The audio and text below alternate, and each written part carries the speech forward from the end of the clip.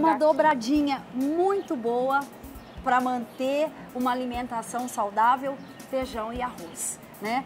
Não importa que seja esse fradinho ou preto, preto, né? Esse preto, não importa que feijão seja. Esse feijão preto, ele tem um pouquinho mais de proteínas que o outro. Então, por isso que ele é mais um pouquinho mais forte. Mas é uma dobradinha bem eficiente para uma alimentação saudável. Uma coisa também para alimentação saudável, ai, não vou mostrar a marca, é o açúcar mascavo, né? Nós temos cinco tipos de açúcar: açúcar mascavo, açúcar demerara, açúcar cristal, açúcar refinado e açúcar impalpável ou de confeiteiro. Qual é o pior? O confeiteiro, tá? Qual é o melhor? O demerara, né?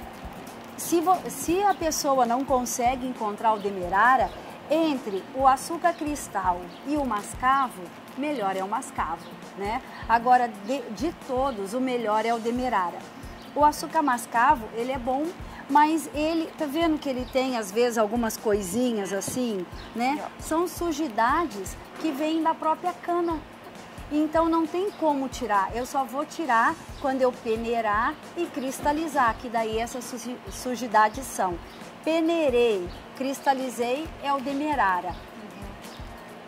É, lavei o demerara com soda cáustica, eu tenho o açúcar cristal diminuí o tamanho, a granulometria do açúcar e lavei novamente com soda cáustica, eu tenho refinado. Diminuí de novo a granulometria e lavei outra vez, eu tenho daí o açúcar impalpável ou de confeiteiro.